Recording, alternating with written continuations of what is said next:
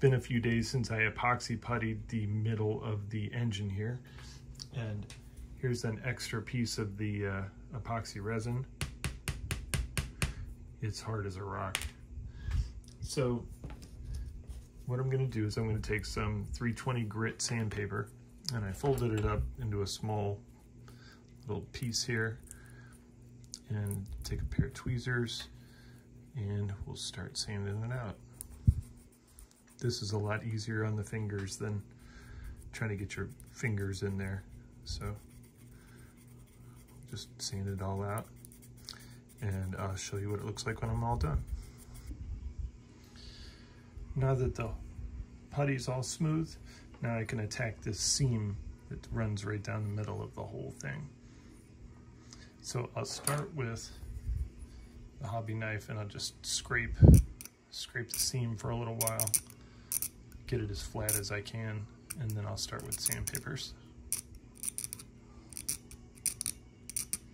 And now it's just a matter of uh, sanding smooth the seam.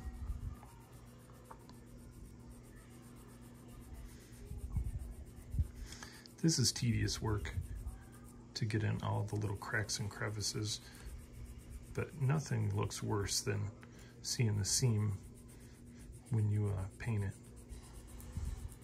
The heads are going to be the same color, so we're going to glue those in place as well.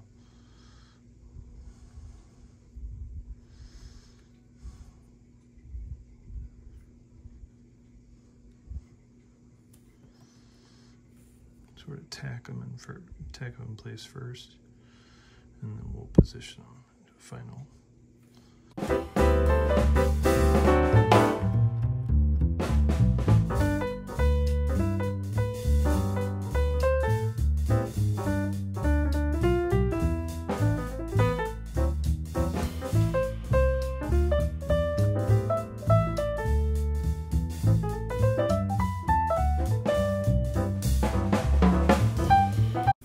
For the rear end, I'm gonna try and sand it smooth so that there's no burr edges or anything. Basically even just rough it up a little bit so that the glue will stick better.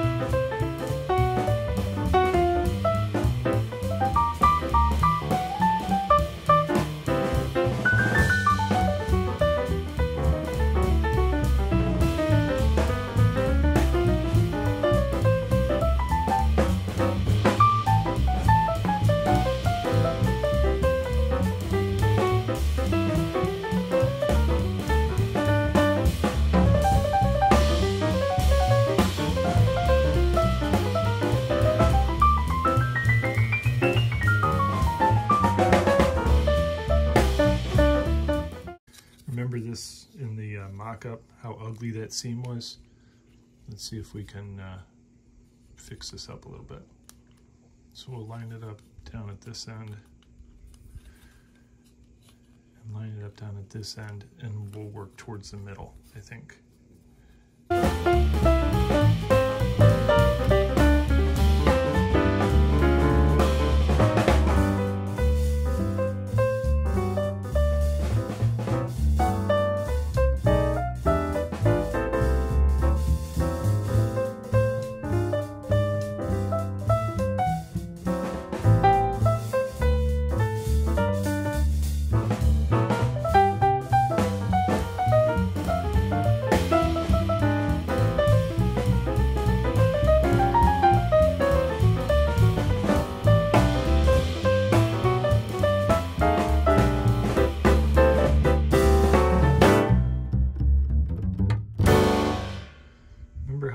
That fit in the pre-fit. It wasn't even close. We got a little bit of overlap right here. This side, I think that's just the seam, but that's definitely overlapping there. We're gonna have to uh, sand that out, make it flat. Because I certainly don't want to add material here on this side to make it match this side. So I'll just take this side down to match it. So we'll take care of that with sandpaper. But across the top, you can see it's just a little off there. Maybe we can move it. No, it's glued. But this side's good. It's, it's like almost this whole side is good, but that side is bad. Looks like it opened up a little bit there.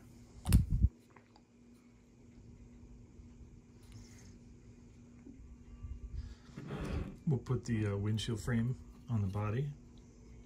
Since it's uh, body color all through here, I just want to have a good seam.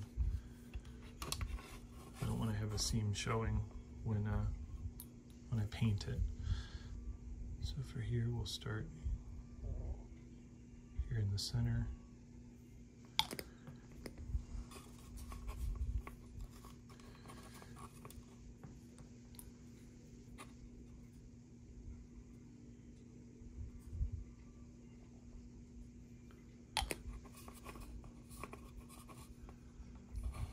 press it.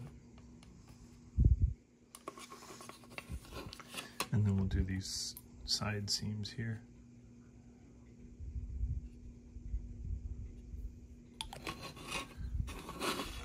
Same thing other side. Which I'll have to check my reference pictures to see if this this uh, seam needs to stay here or not.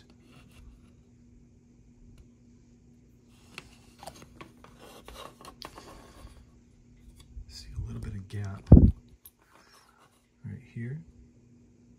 We'll And here.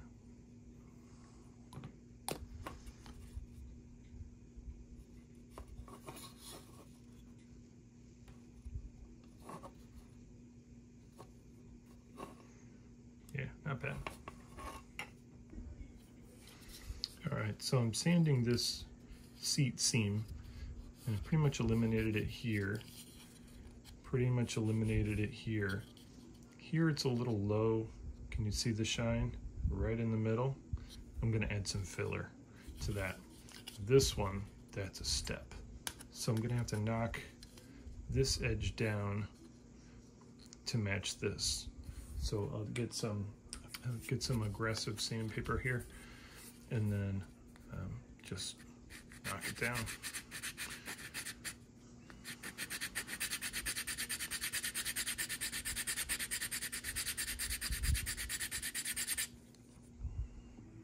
Know I've shown this tip before, but you uh, just take some liquid surface primer.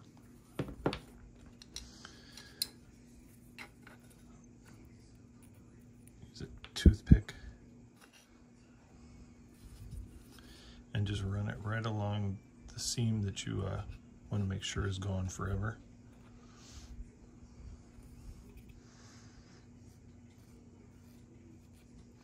I swear I think that this is like thin putty. Let this dry like overnight and then just sand it down and you'll see if there's any uh, any leftover.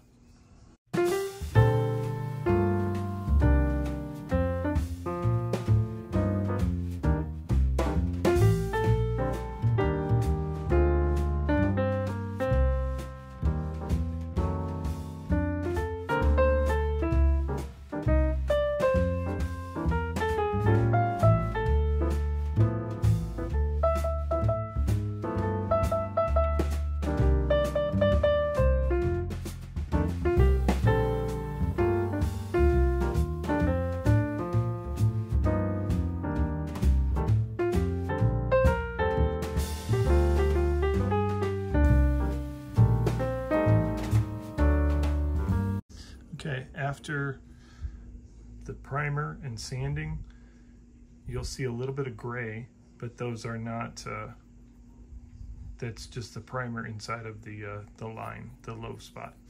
So don't worry about sanding it all off because that's filling the holes. Same thing with seat, little spot there, and a spot there. And then rear end, we got just a little bit on the pumpkin. So I think that these are all ready for primer now, and then we can check, make sure that the line's gone. Next up, remember the steering wheel in this steering wheel center and how bad that looked sitting in the middle? I think I figured it out. Um, there is pin ejection mark right in the center of this steering wheel, focus. And I think I'm gonna grind that off, make it flat, and then the steering wheel will, uh, the center will sit right in the middle of the steering wheel, right up against it. And I think it'll bring it in a little bit better and make it look a little better. So back to the rotary tool, we got a flat bit with a bit of a grace abrasive on it. And we'll just grind off that little pin ejection mark there.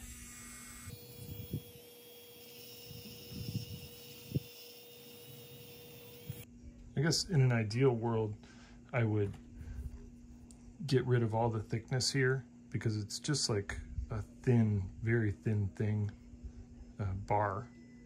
And to get rid of the thickness there, it would make it real fragile. Um, I think I'm gonna leave it. Kind of not worth it. This rear view mirror is atrocious.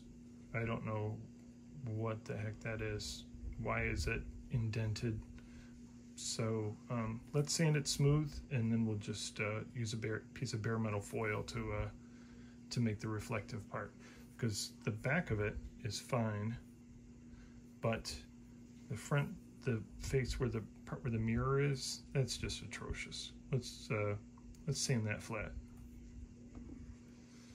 There, that's much better. Sanded it flat, and like I said, I'll just use bare metal foil over the front there and that'll be a better mirror than what it used to be. There's the back. Now remember I glued in this piece here and um, for the top, remember the top had that gap that was right in the middle, right in this area? I took some of that epoxy putty and spread it between the two holes and check this out.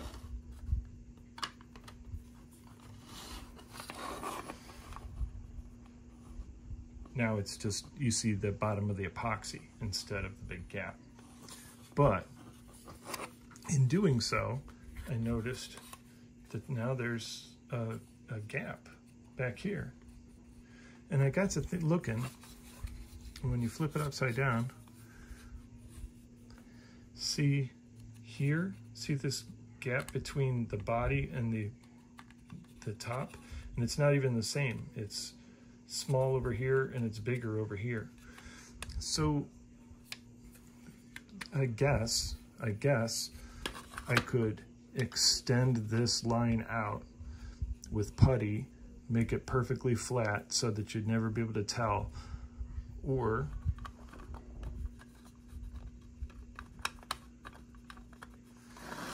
you can paint it up and leave it like that, which I think I'm gonna leave it like this. It's uh, another one of those really not worth fixing things. The, uh, the top's gonna come off to show off the interior and then we'll put the top on and it looks just fine. But it's not perfect. Like I said, we got, you can see, see blue right through there. But, so either you would cut the roof, make it longer, or make the body longer. Lesser of two evils and you're not allowed to use, you know, uh, sheet styrene with a box stock, so you'd have to do it with putty. And uh, yeah, I'm not willing to do that. I'm not really willing to do either of those things to fix this. It'll just have to be wrong. One of the other things that was bothering me with this this kit was these pedals. And, you know, mounting them here, they stick way far away from the, uh, the interior tub. A friend of mine uh, who's built this kit many times, he says that that's actually correct for them to stick way out like this. I don't like it. I'm going to cut I'm going to cut this here and reduce it by like half. So bring the pedals like down to here somewhere. It's just so that they're a little closer to the, the toe wall. Or the, yeah, toe wall. That's what you'd call that. And they won't be so obvious sticking out like that. I think the easiest way would be to cut the backs of the the clutch and the brake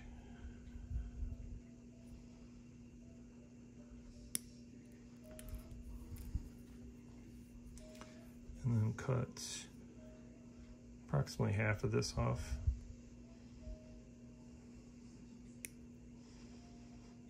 Approximately half of this off. And then just reglue it. But I want to sand, I'll sand these smooth and then just reglue them back together. So just like that. the pedals are not quite as long. When you put them in, they'll uh, they'll more the spot. I think. I think those look better.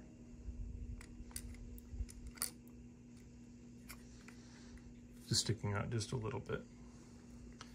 I cut three millimeters out of the length of them. Let's put a little putty on here, fill some of these low spots. I've already put one coat, but just need a little more.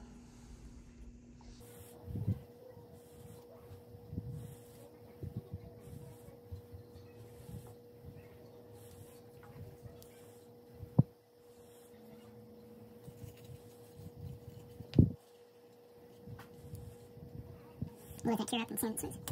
Okay, I finished sanding out all of the uh, ejection pin marks on the underside of the top. It's not the prettiest, but uh, we'll see what it looks like after primer.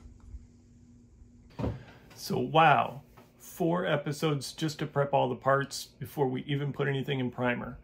It's been a lot of work so far, but uh, I think it's really gonna come out nice since I did all the proper prep work for everything.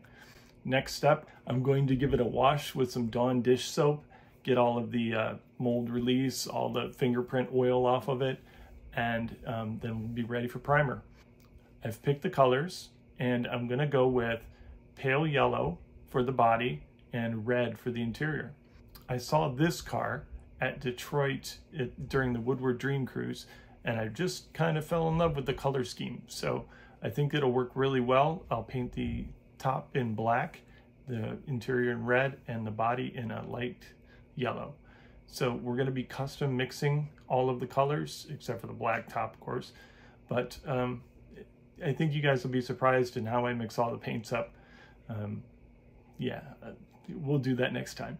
So next episode will be primer and paint, and uh, then we'll move on to foil, and then clear, and then polishing, and then final assembly. So maybe three, maybe four more episodes, and then we'll call this thing done. Um, thanks everyone for watching. I really appreciate your watching all of this series. Uh, I know that uh, views have dropped off a little bit since the first episode, but hey, you guys are the reason I'm doing all of this. And, um, you know, I would have just thrown this thing together in like two weeks if I didn't have to record it and edit it and, and all that good stuff. So I'm doing this for you and I appreciate you watching. Thank you very much. See you guys next time. Bye.